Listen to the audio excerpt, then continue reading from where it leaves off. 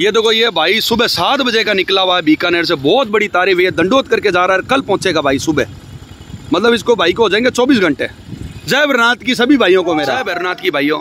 हम यहाँ से जाएँगे बत्तीस किलोमीटर दूर कोडम देसर भैरू जी जो बड़ा ही फ़ेमस भैरू जी है। जो भी बीकानेर के अंदर आता है वो भैरू जी के दर्शन ज़रूर करता है। बड़ा प्रसिद्ध भैरू जी का मंदिर है। चलते हैं और दर्शन करते हैं। ये तो को ये भाई लोग पैदल जा रहे हैं भैरूनाथ जी के। इनसे बात करते हैं यहाँ से। भाई साहब कहाँ से आए हो सरकार? भाई साहब आप? जय भैरनाथ की भाई। हर बार आते हो क्या पैदल?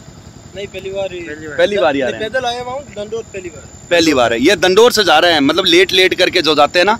और कब निकले थे घर से? घर से निकले थे सुबह सात बजे। सुबह सात बजे के। भाई निकला क्या नाम है भाई आपका? हरी किशन हरी कृष्ण आप दंडोत कर रहे हो क्या? ये भाई दंडोत कर रहा है सुबह सात बजे का बीकानेर से निकला है जो बत्तीस किलोमीटर दूर पड़ता है बीकानेर।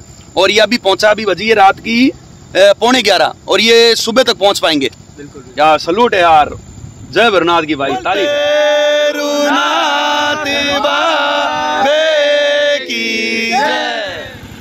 ये देखो ये भाई सुबह सात बजे का निकला हुआ है बीकानेर से। बहुत बड़ी तारीफ़ है दंडोत करके जा रहा है कल पहुंचेगा भाई सुबह।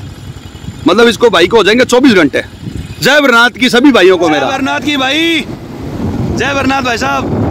अब हम भैरू जी के पहुँच गए आराम से तीस चालीस की स्पीड हमने बाइक चलाई थी। अब पहुँच गए हैं। पीछे देख सकते हो मार्केट है छोटा मार्केट है भैरू जी का और घने जंगलों में मंदिर है। आसपास में छोटा सा गाँव है।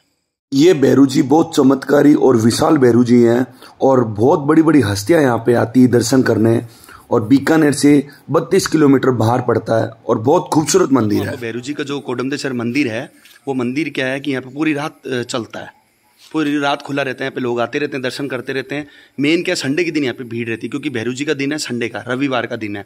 और यहाँ पे लोग बीकानेर से बत्तीस किलोमीटर दूर पड़ता है भैरू जी का मंदिर कोडाना भैरू के नाम से गाँव के, गाँव बसा हुआ है भैरू जी के नाम से ही। और यहाँ पे क्या है कि शनिवार को लोग पैदल आते हैं, ज़्यादातर लोग। पैदल आते हैं, जो संडे को आके यहाँ पे आरती का दर्शन करते हैं सुबह चार बजे का। अभी आज गुरुवार का दिन है, आज भी लोग देखो आए हुए हैं और पूरा बाज़ार बंद हो चुका है पीछे आप देख सकते हैं। ये भैरू जी के मंदिर के देखिए ये सामने भैरू जी का मंदिर है और ये पीछे मेरे मार्केट है जो अभी पूरा बंद हो गया है। अब क्या है कि यहाँ पे सुबह खुलेगा ये चार बजे तो आप देख सकते हैं पूरा अंधेरा है यहाँ पे। यहाँ से हम निकलेंगे और यहाँ का एरिया एकदम सेफ़ है कोई दिक्कत नहीं। आप रात को भी बाइक में आ सकते हैं। अभी जैसे रात की बजी है देख लो सवा बारह।